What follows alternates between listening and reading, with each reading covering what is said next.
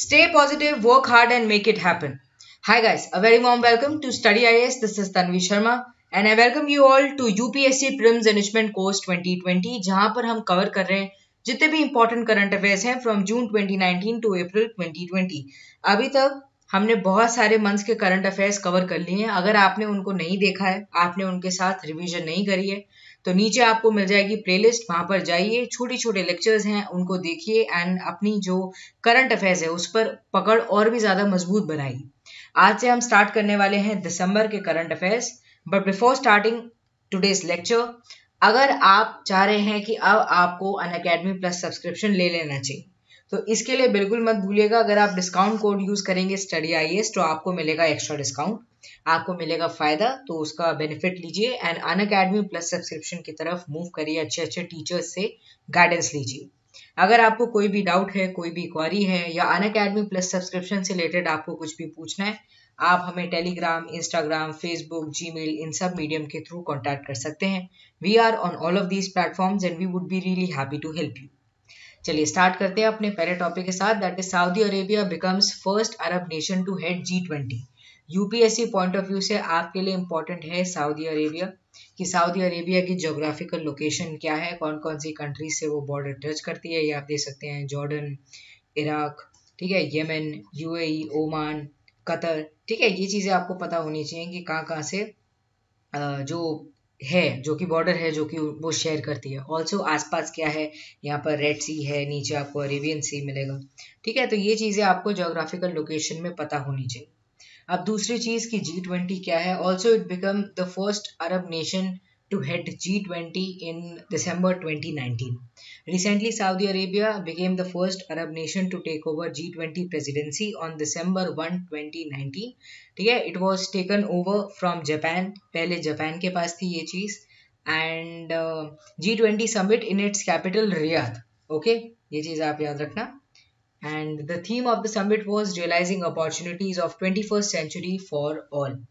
Key aim इसका यही था कि हम कैसे एम्पावर कर सकते हैं लोगों को, उनको और भी ज़्यादा मोटिवेट कर सकते हैं कि वो अपनी कंडीशन को हर वे से और भी ज़्यादा बेटर बनाए। वुमेन एंड यूथ को स्पेसिफिकली इन्होंने टारगेट किया कि वो लिव करें वर्क करें एंड थ्राइव करें। Safeguarding the planet they also talked about how they can safeguard the planet कैसे वो environment को contribution दे सकते हैं also shaping the new frontiers या कि लॉन्ग टर्म हो या बोल्ड स्ट्रैटेजीज ऐसी ली जा सके जो कि इनोवेशन टेक्नोलॉजी इन सब में सहायता दे सके as the presiding nation Saudi Arabia has to work towards mitigating global risk जैसे climate change demographic issues such as low birth rate ठीक है लाइफ एक्सपेक्टेंसी राइज हो, ठीक है, ये सब चीज़ें हम देखें ध्यान से। However rising populism and nationalism may prevent the progress at the multilateral level जितना ज़्यादा पॉपुलिज्म बढ़ रहा है या नेशनलिज्म बढ़ रहा है nationalism specifically talking about countries जैसे यूएसए यूएसए इस समय उनकी ये साइकोलॉजी है that making America great again which shows they are being very much rightist in approach and वो ज़्यादातर बहुत ज़्यादा अपने आप को नेशनलिज्म के अंदर इंडल्ज कर रहे हैं। ये चीज़ प्रिवेंट कर सकती है प्रोग्रेस को as a multilateral level and जो जो ग्लोबलाइजेशन है उसके लेवल को और भी ज़्यादा डिग्रेड कर सकती है, उसको कम कर सकती है। It has promoted a liberalisation drive कि थोड़ा लिबरल करो हर वे से अपनी सोसाइटी को वुमेंस को ज़्यादा राइट मिले। वुमेन के जो राइट का इशू है, वो ज़्यादातर कंट्रीज़ में देखा जाता है specifically talking about Middle East ये सब जो कंट्रीज़ हैं, यहाँ पर वुमेन के राइट्स का इशू बहुत पहले से चल रहा है। तो वुमेन के, को और भी ज़्यादा राइट्स मिले, वो इन पार आ सके मेन के, ये समय हो रहा है। एंड हमने देखा भी है कि सऊदी अरेबिया में काफ़ी सारे उन्होंने ऐसे डिसीज़न लिए हैं, जैसे रिसेंटली उन्होंने अलाउ कर दिया था कि वुमेन भी ड्राइव कर सकती हैं they can get driving licence which is a very good moment ठीक है? However incidents like murder of journalist Jamal Khashoggi drew intense global criticism over human rights issues in Saudi Arabia ऐसे issues भी सामने आते रहते हैं। अब आप समझिए जी ट्वेंटी के बारे में। जी ट्वेंटी एक इनफॉर्मल ग्रुप है 19 कंट्रीज़ एंड यूरोपियन यूनियन का। ठीक है? Representative of International Monetary Fund and the World Bank okay and G twenty की membership comprises a mix of world's largest advanced and emerging economies दोनों type की economies हैं, ऐसा नहीं है कि यहाँ पे सिर्फ़ एडवांस इकोनॉमीज हैं, ठीक है? एंड काफ़ी बड़ी इसकी स्ट्रेंथ है ट्वेंटी नेशंस हैं इसके अंदर including EU and headquarter G twenty operates as a forum and not as an organisation ठीक है? ऑर्गेनाइजेशन की तरह वर्क नहीं करती and it does not have any permanent secretariat और मैनेजमेंट एंड एडमिनिस्ट्रेटिव स्ट्रक्चर की इस वे से वर्क करती हो। ओरिजिन इसका हुआ था 1997 1999 के एशियन फाइनेंशियल क्राइसिस के टाइम पर। एंड 2008 के जो फाइनेंशियल क्राइसिस हुए थे, उस समय पे बहुत ज़्यादा लगा था कि ऐसी कुछ नीड है, ऐसी रिक्वायरमेंट है कि कोई ऐसा फॉरम आए जहाँ पे डिफरेंट डिफरेंट कंट्रीज़ के जो लीडर्स हैं वो अपना कंट्रीब्यूशन दे एनुअली मीट करें। मेंबर्स की अगर हम बात करें तो Argentina, Australia, Brazil, Canada, China, France, Germany, India, Indonesia, Italy, Japan, Korea Mexico, Russia Saudi Arabia, South Africa, Turkey, UK, USA and European Union are its members now one nation holds the chair every year and Argentina chair G twenty summit of twenty eighteen and Japan for twenty nineteen ठीक है, ये चीज़ आप याद रखना। चलिए, आगे बढ़ते हैं, अगले टॉपिक की तरफ़ दैट इज़ पत्थलगढ़ी मोमेंट ठीक है, ये आपके लिए इंपॉर्टेंट है। क्यों? क्योंकि मॉडर्न इंडिया से रिलेट करता है। जीएस पेपर नंबर टू के लिए बहुत ज़्यादा इंपॉर्टेंट है। यूनियन गवर्नमेंट ने विड्रॉ कर दिया amendment to the forest right act 2006 which would have the tribal rights over forest देखिए फॉरेस्ट की अगर हम बात करें with respect to tribal people tribal जो लोग होते हैं, उनकी dependency as compare to the normal people like us थोड़ी ज़्यादा होती है। Why because we have a lot of luxury हमारे पास बहुत सारी रिसोर्सेज हैं। हमें हर चीज़ फिनिश प्रोडक्ट में मिल जाती है। Our living standard is different whereas well we talk about the tribal population उनका लिविंग स्टैंडर्ड उनकी डिपेंडेंसी बहुत ज़्यादा है, बहुत ज़्यादा डिफरेंट है। ट्राइबल पॉपुलेशन अपने फ़ूड से लेकर घर के लिए इवन ऑक्यूपेशन के लिए वो फॉरेस्ट के ऊपर डिपेंडेंट होते हैं। As well as for their settlement they are dependent on the forest ठीक है? तो फॉरेस्ट राइट एक्ट को इसलिए सोचा गया कि नहीं लाया जाए। क्यों? क्योंकि उसकी वजह से क्या होगा, काफ़ी सारे जो राइट्स हैं ट्राइबल पीपल के, वो हैम्पर हो जाएँगे। These amendment evoked sustained protest by tribals कभी भी कुछ ऐसा देखने को मिलता है तो जो इन्वायरमेंटल एक्टिविस्ट हैं या ट्राइबल लोग हैं they start having a moment वो अपने वॉइस रेस करने लग जाते हैं because it is very disturbing for them The state government of Jharkhand tried to amend the Chota Nagpur Tenancy Act 1908 and Santhal Parganas tenancy act 1876 जिससे easier land acquisition हो सके। ठीक है बट उससे भी थोड़ा सा प्रॉब्लम हो गया एंड उनको उसे विड्रॉ करना पड़ा। ये जो डिसीज़न है, ये इन्होंने राइज दिया एक पत्थलगड़ी इंसिडेंट को in the tribal belt demanding implementation of forest right act and provision of Panchayat Extension of Scheduled Areas Act PISA 1996 Birsa Munda very famous personality की स्ट्रगल के बारे में आप लोगों ने अपने मॉडर्न इंडिया की जितनी भी जो जो बुक्स हैं, उसमें देखा होगा कि they struggle against the exploitation and discrimination जो कि ट्राइबल लोगों के अगेंस्ट हो रहा था। एंड उसकी वजह से it led to the passing of Chota Nagpur tenancy act 1908 जिसने रिस्ट्रिक्ट कर दिया passing of land from the tribal people to the non tribal कि वो पास नहीं हो सकता। Okay the Santhal Parganas tenancy act की अगर हम बात करें, वो प्रोहिबिट करता है सेल ऑफ़ आदिवासी लैंड कि वो नॉन आदिवासी लोगों को मिल सके इन संथल परगना रीजन जो कि झारखंड के अंदर है which borders with the Bengal okay तो ये दोनों इंपॉर्टेंट एक्ट्स हैं। पत्थरकारी रिवेलियन के बारे में आपको ये चीज़ पता होनी चाहिए कि ये एक तरह का प्रोटेस्ट है जो कि ट्राइबल लोग करते हैं।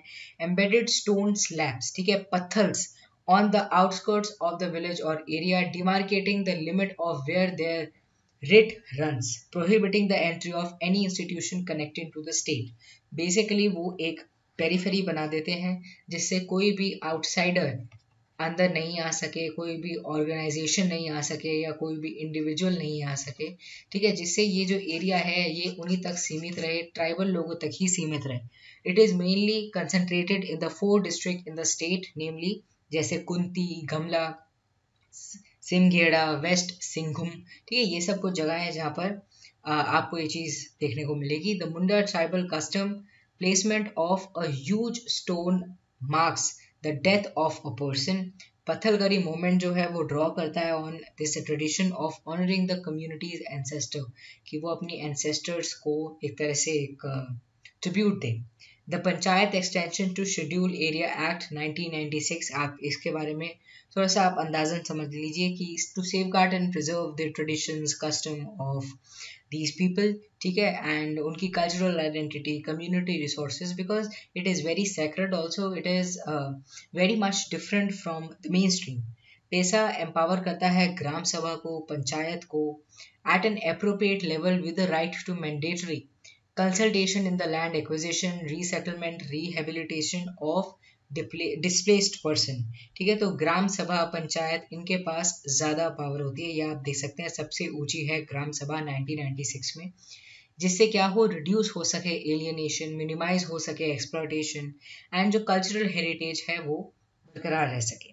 चलिए, आगे बढ़ते हैं अपने अगले टॉपिक की तरफ़ that is INSTEX barter mechanism आज का मेरे ख्याल से सबसे इंटरेस्टिंग टॉपिक है ये इंस्टेक्स क्योंकि आप लोगों ने 2019 से अगर आप न्यूज़पेपर न्यूज़ इन सबको कवर कर रहे हैं you all know that USA versus Iran चल रहा था। बहुत सारी ऐसी चीज़ें हुई इंक्लूडिंग कासिम सोलेमानी का जो डिमाइस हुआ। ठीक है तो ये सब चीज़ें बहुत सारी चल रही थी, उसकी वजह से एक वॉर लाइक सिचुएशन देखने को मिल रही थी। एक दूसरे के ऊपर सैंक्शंस भी लगाई गई और इसका इफ़ेक्ट वर्ल्ड पे भी पड़ा कम्युनिटी पर भी पड़ा। ठीक है? तो why in new six countries that is Belgium Denmark Finland Netherlands Norway and Sweden have recently joined INSTEX ठीक है? तो आपके लिए इंपॉर्टेंट है कि इंस्टेक्स क्या है। आपसे इससे रिलेटेड प्रिलिम्स में क्वेश्चन आ सकते हैं। So a trade mechanism is instrument in support of trade exchanges जैसे इंस्टेक्स ठीक है, ये इसकी फुल फॉर्म है। इसको स्टैब्लिश किया था फ्रांस, जर्मनी, यूके ने इन जनवरी 2019 रिसेंटली जब बहुत सारे सैंक्शंस लग गए एंड ऑल्सो कॉमकासा एक्ट के तहत जब यूएसए ने ये कर दिया कि वो सैंक्शन लगाएँगे ईरान के ऊपर एज वेल एज कोई भी कंट्री अगर वो ईरान एंड चाइना इन कंट्रीज़ के साथ अगर ज़्यादा ट्रेड में इन्वॉल्व होने की कोशिश करेगी तो यूएसए उनके ऊपर भी ये सैंक्शंस लगा सकता है। इस टाइम पर काफ़ी सारी जो कम्युनिटी थी, काफ़ी सारी जो कंट्रीज़ थी, उन्होंने ये सोचा कि it it will be really very unbeneficial for them ठीक है? वो उससे उनको इकोनॉमिकली बहुत हो सकता है, नुकसान हो।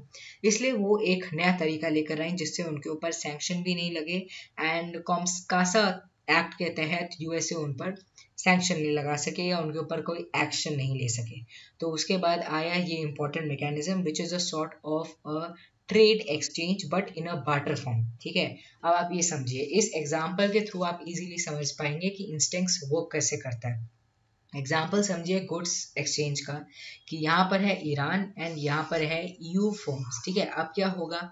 जैसे exports pistachios to EU Iran से पिस्टैश्यूज जाते हैं ठीक है पिस्टैश्यूज यानी पिस्ता पिस्ता जाते हैं ईयू की तरफ़, ठीक है? तो ईयू अब इनको पैसा नहीं देगा।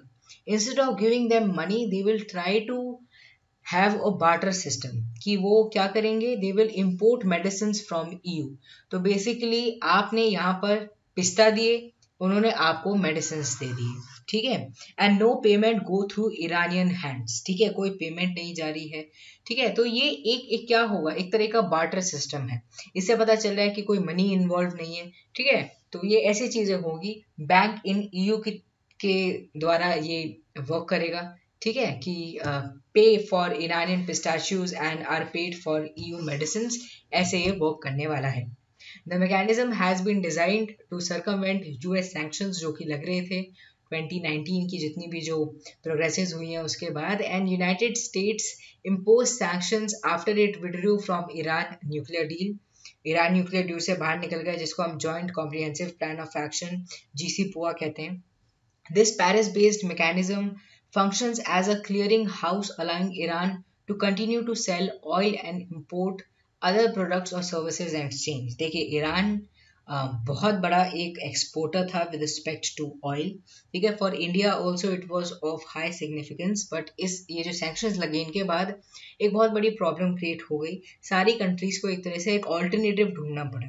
And USA is also trying its best to become a very good एक एक वो बनने की कोशिश कर रहे हैं, एक ऑल्टरनेटिव बट ईरान के साथ सबके लोगों के एक कॉर्डियल रिलेशनशिप में है। And in international community everyone want to have good cordial relationship with another country ठीक है, जब तक कोई उनका कोई ऐसा मेजर इशू नहीं हो, ठीक है? तो इसलिए ये सब लोग इस इस न्यू मैकेनिज्म के थ्रू आए the mechanism represent continuing commitment of France Germany and UK to J C पुआ ठीक है?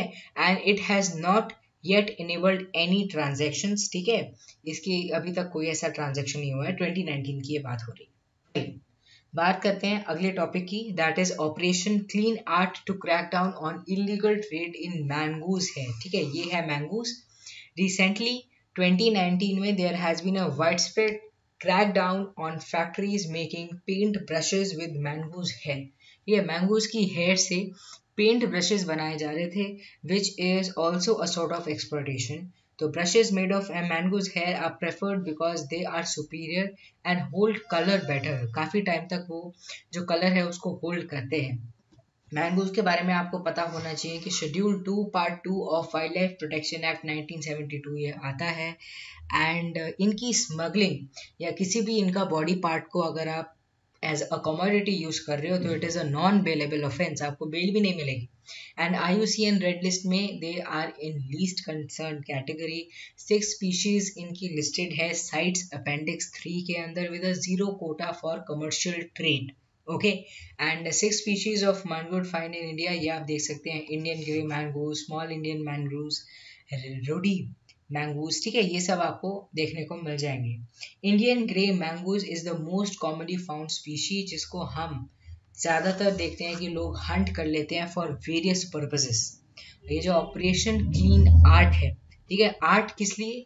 आपको हो सकता है आप वहाँ जाके भूल जाओ कि अरे ये तो आर्ट से रिलेटेड है how it can be connected to any animal art के लिए आपको ब्रश यूज़ करने पड़ते हैं। And these brushes are made through mongoose hair ठीक है? So it was the first pan India operation to crack down on the smuggling of mongoose hair in the country कि कोई भी ऐसी स्मगलिंग नहीं हो, ऐसा कोई उनका एक्सप्लोटेशन नहीं हो। It was conceived by wild life crime control bureau W C C B जो कि एम करती है कि अश्योर हो कि कोई भी मैंगूज हेयर ब्रश शेड नहीं हो, ठीक है? और कंट्रीज़ कोई भी स्मगल नहीं करें ऐसे किसी भी एनिमल को। यही था। चलिए, बात करते हैं अगले टॉपिक की that is particularly vulnerable tribal groups okay आपके लिए बहुत ज़्यादा इंपॉर्टेंट है। कि कौन कौन सी जो न्यू ट्राइब्स हैं, वो इसमें एड ऑन हो गई हैं। यूपीएससी आपसे पूछ सकता है। आपको पता होना चाहिए कि ये पर्टिकुलरली वर्नरेबल ट्राइबल ग्रुप्स होती क्या है? एंड अगर कोई भी नई ऐड हुई है तो कौन सी ऐड हुई है? ठीक है, ये चीज़ें आपके लिए इंपॉर्टेंट है। तो इसको हम क्यों पढ़ रहे हैं? क्योंकि मिनिस्ट्री ऑफ़ ट्राइबल अफेयर्स ने इम्प्लीमेंट किया the scheme of development of PVTGs कि वो डेवलपमेंट के ऊपर ध्यान देंगे which cover 75 PVTGs of their comprehensive socio economic development इस स्कीम के अंदर जो स्टेट गवर्नमेंट है, वो सबमिट करती है conservation cum development plan on the basis of their requirement कि कैसे वो जो अपनी पीवीडीजीज हैं, उनको प्रिजर्व कर सकती हैं, उनका जो कल्चर है, उसको प्रिजर्व कर सकती हैं। Hundred percent grant in aid are made available to the state as per the provision of the scheme ठीक है? Hundred percent grant in aid मिलेगा उनको। अब समझिए कि पर्टिकुलरली वनरेबल ट्राइबल ग्रुप क्या होती है?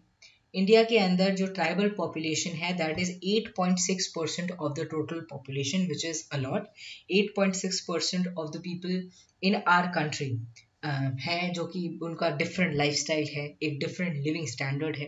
ठीक है? तो उनको प्रिजर्व करना भी हमारे लिए बहुत ज़्यादा इंपॉर्टेंट है। पी बी टी पीबीटीजी ज़्यादा वलनरेबल होते हैं अमंग दीज ट्राइबल ग्रुप्स यानी और भी ज़्यादा ससेप्टेबल होते हैं। अगर कोई भी चेंजेस आएँगे इन्वायरमेंट के अंदर या फॉरेस्ट के ऊपर कोई भी चेंज हम लाने की कोशिश करेंगे तो इन पर एक डायरेक्ट इम्पैक्ट देखने को मिलेगा। And due to this factor more more and assertive tribal groups take a major chunk of tribal development funds. देखने को क्या मिलता है कि अगर कोई भी फंड गवर्नमेंट अलॉट करती है, क्योंकि गवर्नमेंट का काम है कि वो फंड अलॉट करे जितने भी ये जो ट्राइबल पॉपुलेशन है, इनकी डेवलपमेंट के लिए, इनकी एजुकेशन के लिए, हर चीज़ के लिए ओके तो ये जो है, ये एक small chunk of tribal groups कोशिश करती है कि उन तक पहुँच जाए एंड उनका फ़ायदा हो जाता है। बट काफ़ी सारे ऐसे हैं जो कि अभी भी इस चीज़ से वंचित रह जाते हैं, ठीक है? तो इस टाइम पर ज़रूरी है कि ये जो P V T V P Gs हैं पर्टिकुलरली वलनेबल ट्राइबल ग्रुप्स हैं, इनके ऊपर ज़्यादा एम्फोसिस हो। 1973 में दिबार कमीशन ने क्रिएट किया था प्रिमिटिव ट्राइबल ग्रुप पीटीजी ठीक है जो कि एक सेपरेट कैटेगरी थी। वो are less developed among the tribal groups पर 2006 में गवर्नमेंट ने इसको रीनेम uh, कर दिया as PVTG particularly vulnerable they are vulnerable also ठीक है। Vulnerable tribal groups in context seventy five के अंदर गवर्नमेंट ऑफ़ इंडिया ने इनिशिएट किया था कि वो आइडेंटिफाई कर सकें इनको एंड एक सेपरेट कैटेगरी में डाल सकें एंड डिक्लेयर 52 सच ग्रुप्स ठीक है? 52 सच ग्रुप्स इसमें आ गए थे एंड फर्दर फर्दर इसमें और एड ऑन हो से, होती चली जा रही है जिससे और भी ज़्यादा इन पे एम्फोसिस बढ़ सके। पीवीटीजीज जो हैं, उनकी कुछ बेसिक कैरेक्टरिस्टिक्स होती हैं। सबसे पहले तो दे आर मोस्टली होमोजीनियस उनमें आपको एक सिमिलैरिटी देखने को मिलेगी। स्मॉल पॉपुलेशन होगी रिलेटिवली फिजिकली बहुत ज़्यादा आइसोलेटेड होंगे। एंड उनकी कोई रिटर्न लैंग्वेज नहीं होती। एल्सो ये भी देखने को मिलता है कि शायद वो कोई और डिफरेंट लैंग्वेज यूज़ करते हो, या फिर एक डिफरेंट कल्चर उनका वो फॉलो करते हो। रिलेटिवली वो टेक्नोलॉजिकली बहुत ज़्यादा एडवांस नहीं होते। ऐसा नहीं है कि कोई ट्राइबल पर्सन है and they are using smartphone की चलो स्टडी आई की वीडियोज़ देखते हैं। ऐसा नहीं है।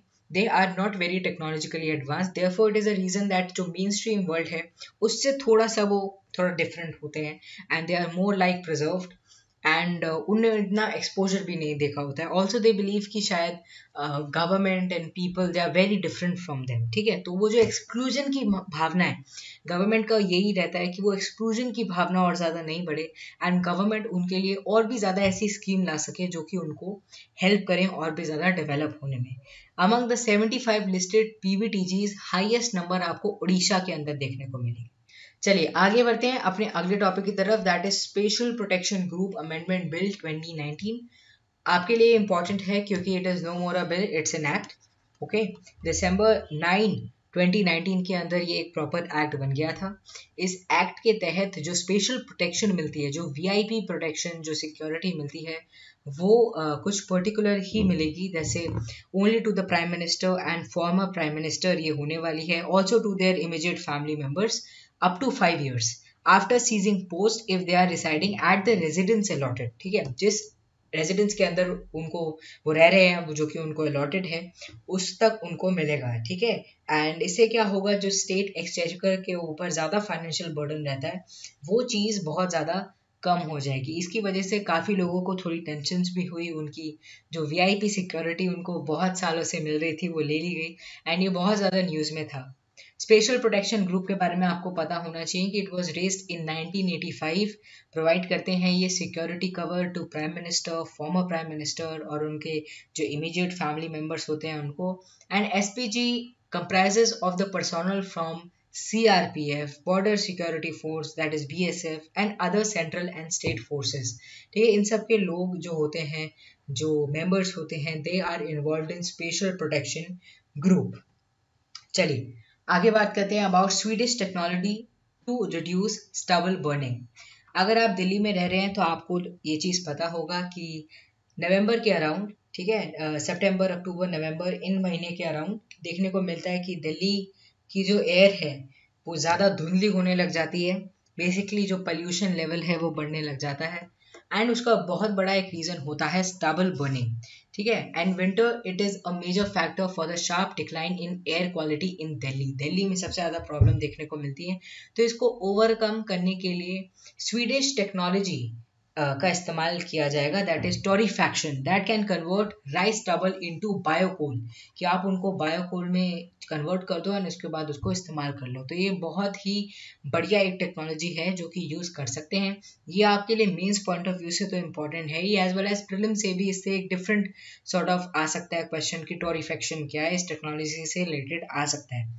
रिसेंटली एक और चीज़ हुई थी सुप्रीम कोर्ट ने अंडर टॉट लॉ ये चीज़ बोला था कि इफ़ पंजाब, हरियाणा लाइक जो हमारे इंडिया में स्टेट्स हैं, उनकी वजह से दिल्ली में ऐसी कंडीशंस हो रही हैं जहाँ पे ह्यूमन को प्रॉब्लम हो रही है रेस्पिरेशन में। एक नॉर्मल लाइफ जीने में उनको प्रॉब्लम हो रही है। तो they are responsible for this thing and taught law के तहत उनको उस चीज़ का भुगतान भुगतना पड़ेगा, उनको पनिशमेंट भी मिलेगी। तो ये चीज़, एक चीज़ आपको पता होनी चाहिए कि इस इस चीज़ को भी डिस्कशन में लिया जा रहा था। तो the government has funded a pilot project at the national agri food biotechnology institute in Mohali Punjab जहाँ पर स्वीडिश कंपनी ने इवेलुएट किया the feasibility of the technology तो आप चीज़, आप लोगों को ये चीज़ पता होनी चाहिए कि टोरीफेक्शन होता क्या है एंड कैसे ये बायोकोल के अंदर कन्वर्ट कर सकता है। तो टॉरीफेक्शन एक थर्मल प्रोसेस है। थर्मल मतलब इसमें टेम्परेचर का यूज़ किया जा रहा है that to a very high temperature जिससे कन्वर्ट किया जा सके बायोमास को इनटू कोल लाइक मटेरियल ठीक है? एंड कोल लाइक मटेरियल बन जाएगा तो वो बहुत सारी चीज़ों में इस्तेमाल किया जा सकता है। The process involve heating up straw grasses sawmill residue ठीक है? जितना भी ये जो रेसिड्यू बचता है या ये जो स्टबल होती है, इसको आप 250 डिग्री सेल्सियस में या 350 डिग्री सेल्सियस में इसके बीच में जो टेम्परेचर होता है, वो वेरी करता है। इसको हीटअप किया जाता है to form coal this changes the element of biomass into a coal like pellet ठीक है? कोल लाइक फॉर्म हो जाता है कंबशन के बाद। एक ब्लैक सब्सटीट्यूट फॉर्म हो जाता है, जिसको इंडस्ट्रियल एप्लीकेशन में, जैसे स्टील की फॉर्मेशन में सीमेंट की प्रोडक्शन में, इन सब में यूज़ किया जा सकता है। The project has the capacity of converting 150 to 200 kilogram of paddy straw to biocoal every hour and reduce CO2 emission by 95 percent ये देखिए, ऐसा नहीं है कि सिर्फ़ एक एक आप पर्टिकुलर स्टबल को ही आप एक ऐसे मटेरियल में कन्वर्ट कर रहे हो जिसको आप यूज़ कर सकते हो।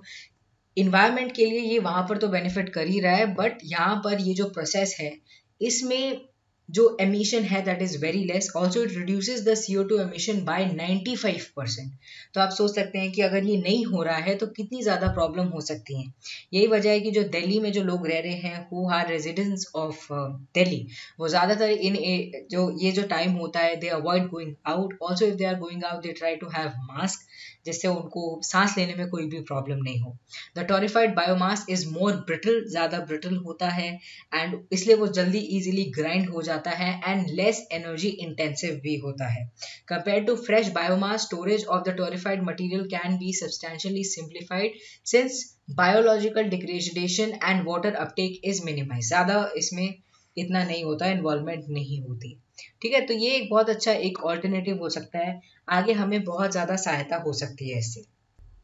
चलिए, आगे बढ़ते हैं अपने अगले टॉपिक की तरफ़। That is Bharat bond exchange traded fund UPSC point of view से आपके लिए बहुत ही ज़्यादा इंपॉर्टेंट कंसेप्ट है। It is related to economy GS paper number three आप लोगों को पता होना चाहिए कि बॉन्ड क्या होता है एक्सचेंज ट्रेडेड फंड क्या होता है also bond exchange traded fund क्या होता है।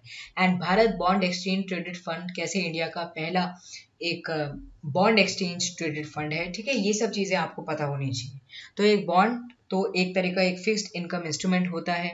कोई भी कंपनी अगर मनी रेज करना चाह रही है तो वो शेयर्स के थ्रू भी कर सकती है बॉन्ड के थ्रू भी कर सकती है। बॉन्ड एक तरीके का एक फिक्स्ड इनकम इंस्ट्रूमेंट है। ऑल्सो ना ही एक कंपनी बट गवर्नमेंट भी। It can be of both types एक कॉर्पोरेट बॉन्ड भी होता है गवर्नमेंट बॉन्ड भी होते हैं। ठीक है so this is all about bond ठीक है एंड ये फिक्स्ड होता है। Whereas when we talk about exchange traded fund exchange traded fund एक तरीके की एक बास्केट है सिक्योरिटीज की। ठीक है? बहुत सारी सिक्योरिटीज की। ऐसा नहीं कि जैसे आपको कोई एक शेयर खरीदना है। आप एक ही शेयर खरीद पा रहे हो उस टाइम पर पर बॉन्ड एक्सचेंज ट्रेडेड फंड के अंदर बेसिकली एक्सचेंज ट्रेडेड फंड के अंदर यहाँ पर बहुत सारे शेयर एक साथ होते हैं, ठीक है? There is a basket of shares तो मतलब आप एक साथ इन सब में इन्वेस्ट कर सकते हो।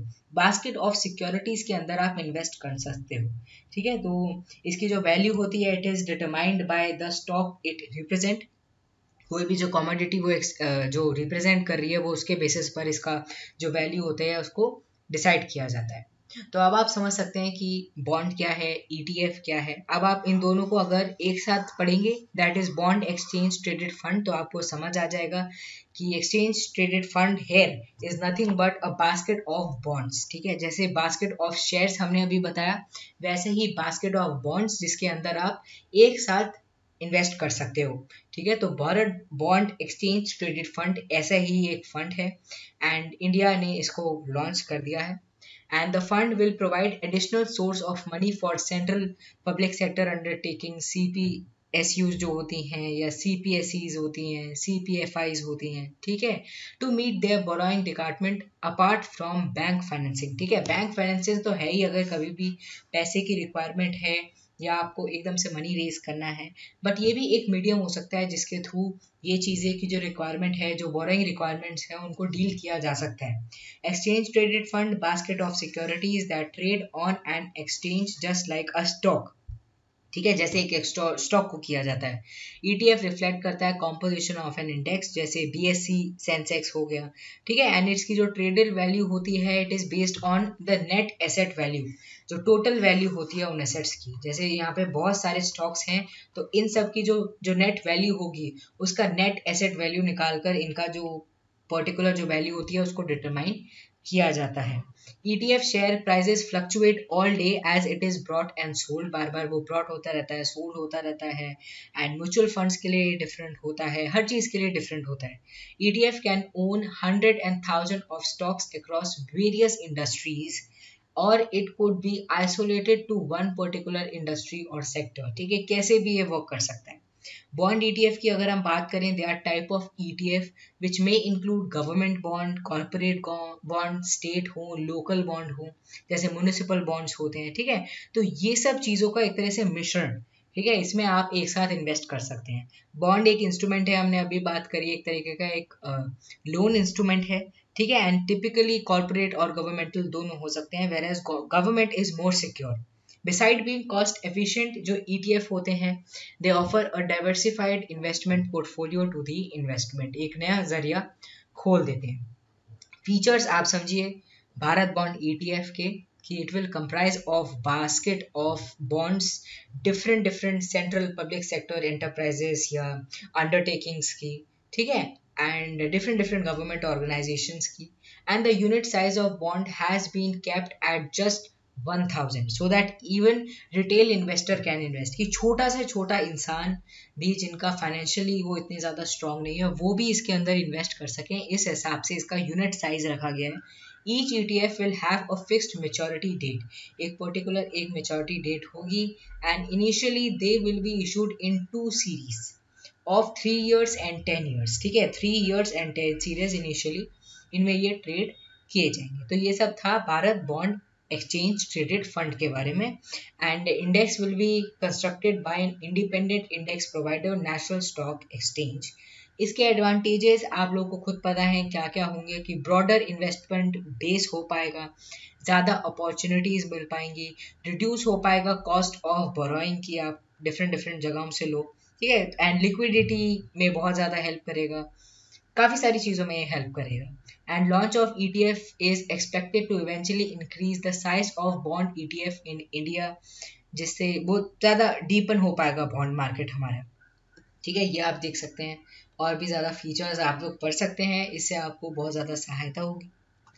चलिए, बात करते हैं हॉर्नबिल फेस्टिवल के बारे में। Very famous hornbill festival hornbill festival जो है it is celebrated in Nagaland to encourage inter tribal interaction but एक चीज़ आप याद रखिएगा कि hornbill is not the state bird of Nagaland okay it is one of the largest indigenous festival organise by state government of Nagaland बहुत जोरों शोरों से ये सेलिब्रेट किया जाता है एनुअली ये सेलिब्रेट किया जाता है in first week of December जिससे प्रिजर्व कर सकें प्रोटेक्ट कर सकें रिवाइव कर सकें।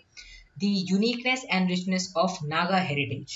ये जो फेस्टिवल है, इसको फेस्टिवल्स ऑफ़ फेस्टिवल्स कहा जाता है, ठीक है? It is of very high significance and the festival is name after a bird hornbill which is most revered and admired bird for the Nagas but एक चीज़ आप फिर से याद रखना कि it is not the state bird of Nagaland okay the festival it is it is a tribute to this bird जो कि वहाँ पर बहुत ज़्यादा फ़ेमस है। The bird is also closely identified with the social and cultural life of Nagas ठीक है? As it is reflected in various tribal dance folk dance songs ठीक है? इन सब में इनको ये चीज़ दर्शाते हैं। चलिए वर्ल्ड सॉइल डे के बारे में डिस्कशन में लेते हैं। World soil day fifth of December highlight करता है importance of a healthy soil कि अगर हमें चाहिए कि इस दुनिया में, देखिए, इस दुनिया में soil is very important why because soil ही एक एक प्राइमरी रिसोर्स है for plants as well as for various things ठीक है? एंड इसलिए इंपॉर्टेंट है कि हम अपनी जो सॉइल है उसको प्रिजर्व कर सकें। थीम भी यही था stop soil erosion save our future theme भी दर्शाता है कि काफ़ी सारी जो प्रॉब्लम सॉइल को देखने को मिल रही है it is all about the humans why because uh, हमारी वजह से ही एक इरोजन देखने को मिल रहा है। जो टॉप लेयर होती है the more most nutritional layer जो होती है सबसे ज़्यादा फंडामेंटल जो लेयर होती है उसको इरोड हो रही है due to various reasons like deforestation and over grazing ठीक है? इन सब वजहों से हो रही है। की pointers it was recommended by I U S S in 2002 ये कुछ एक्स्ट्रा इन्फॉर्मेशन है। आप लोग अगर चाहें तो इसको पढ़ सकते हैं। एंड फिफ्थ ऑफ़ दिसंबर 2014 को डेजिग्नेट किया गया as the first official world soil day by United Nation General Assembly basically आपको फिफ्थ ऑफ़ दिसंबर याद होना चाहिए कि it is a very important day and it is celebrated as the world soil day चलिए, बात करते हैं about removal of Anglo Indians reservation in legislative bodies recently union cabinet ने अप्रूव कर दिया इस चीज़ को। कि रिमूवल हो जाएगा reservation of Anglo Indians in legislative bodies ठीक है? हमें देखने को मिलता है कि एंग्लो इंडियंस जो होते हैं, उनके लिए अलग से टू नॉमिनेटेड सीट्स प्रोवाइड करी गई लोकसभा के अंदर and one nominated seat in state legislative assembly जिसे एडिक्वेट रिप्रेजेंटेशन हो सके बट अब ऐसा कुछ नहीं है। Anglo Indian constitute a religious social as well as a linguistic minority being numerically and extremely small community ठीक है? काफ़ी स्मॉल कम्युनिटी है and being interspread all over India Anglo Indians were provided reservation in legislative bodies okay and it was extended till the year two thousand and twenty ठीक है but through ninety fifth amendment 2009 originally this provision was to operate till 1960 कि सिर्फ़ 1960 से रहेगा but ये काफ़ी time तक रहा है। कॉन्स्टिट्यूशनल प्रोविजंस क्या है? आर्टिकल 366 के तहत डिफाइन किया गया है एंग्लो इंडियन को, जो कि, जो पर्सन होते हैं जिनके फादर और any of those other male progenitors in the male line is or was the European descent, but who is domiciled within the territory of India. ठीक है? एंड इंडिया में वो बॉन्ड हुए हैं with in such territory of parent habitually resident there in and not established there for temporary purposes only ठीक है? Basically उनका एक मेल प्रोजेनिटर्स हों, ठीक है? उसके बेसिस पर एक यूरोपियन डिसेंट हो, उसके बेसिस पर इनको डिफाइन किया गया है।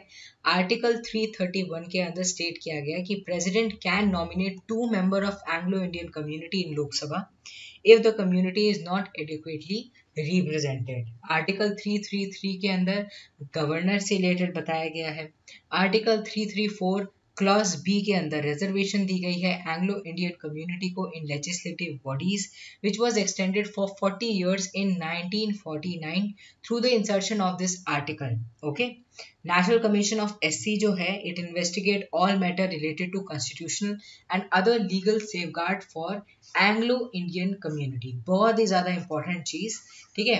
National commission of S C national commission of S T अभी तो नेशनल कमीशन ऑफ़ ओबीसी भी आ गई है, ठीक है? आप लोगों को ये चीज़ कंफ्यूज कर सकती है कि एंग्लो इंडियन से अगर डील करते हुए कोई मैटर है, कोई इशू है तो उसके खिलाफ कौन इन्वेस्टिगेट कर सकता है या कौन एक्शन ले सकता है? तो basically national commission for S ही देखती है इन सब चीज़ों को। चलिए, आगे बढ़ते हैं अपने अगले टॉपिक की तरफ़ that is Sattriya dance dance historian doctor Sunil Kothari was recently been bestowed with Madhav Dev award by government of Assam for popularising the Sattriya dance ठीक है? तो हमारे लिए इम्पोर्टेंट है सत्रिया डांस सत्रिया डांस होता क्या है? इसका ओरिजिन क्या है? Sattriya originated in Sattra monastery which is a part of new Vaishnavite movement started by Sri Manta Sankar Dev in Assam, ठीक है? इन्होंने असम के अंदर इसको स्टार्ट किया था फिफ्टीन सेंचुरी के अंदर एंड ही प्रोपोगेटेड एक शरण नाम धर्म, यानी chanting the name of one god devotedly classical dance है सत्रिय एंड इसको स्टेटस दिया गया था of a classical dance in year 2000 ये आप देख सकते हैं, खूबसूरत पॉस्चर में ये जो लेडी है, ये बता रही है कि कैसे डांस होता है. Other classical dances of India are जैसे भरतनाट्यम तमिलनाडु से रिलेटेड है Kathakali Kerala, Kuchipudi Andhra Pradesh, Kathak north India basically UP and Mohiniyattam, Kerala, Manipuri, Manipur and Odissi Odisha ठीक है? ये सब भी कुछ क्लासिकल डांसेस हैं, जो कि इंडिया के बहुत ज़्यादा फ़ेमस हैं। सत्रिया डांस डिफर करता है, और सब डांसेस से इसके एक बेसिक एक एक सिस्टम की वजह से, एक बेसिक एक कल्चर की वजह से for male it is known as पुरुष park while for female it is known as प्रकृति park the dance is based on mythological themes ठीक है? तो ये माइथोलॉजिकल थीम्स के ऊपर बेस्ड होता है। They have special mnemonic bols typical Assamese music known as Borgeet ठीक है? बॉर्गिट का ये यूज़ करते हैं म्यूज़िक इंस्ट्रूमेंट जैसे सिम्बाल्स ड्रम्स कलरफुल कॉस्ट्यूम्स ये सब का वो इस्तेमाल करते हैं। Corpus of Sattriya dance consist of Ankiya Bhaona and also, Ojapali dance in which the main singer sings and enact अभिनय ठीक है, वो सिंग भी करते हैं एनैक्ट भी करते हैं स्टोरी भी सुनाते हैं ग्रुप ऑफ़ डांसर्स भी वर्क कर रहे होते हैं। ठीक है, काफ़ी सारी चीज़ें इन्वॉल्व होती हैं, काफ़ी सारे कलर्स काफ़ी सारी हैप्पीनेस इन्वॉल्व होती है। Therefore it is a very beautiful dance चलिए, बात करते हैं रेड टूरिज़्म के बारे में। China has stepped up efforts to promote red tourism which features visit of site with significance of revolutionary history of China. Basically आपको ये चीज़ पता होनी चाहिए कि red tourism is related to China जिसमें चाइना बताना चाह रहा है कि कैसे उनकी रिवोल्यूशनरी हिस्ट्री रही है, कैसे उनकी ग्लोरियस हिस्ट्री रही है, कैसे चाइनीज़ कम्युनिस्ट पार्टी ने वर्क किया है, क्या उनकी कंट्रीब्यूशन रही है ठीक है, ये चीज़ आपको पता होनी चाहिए जनरल अवेयरनेस का एक टॉपिक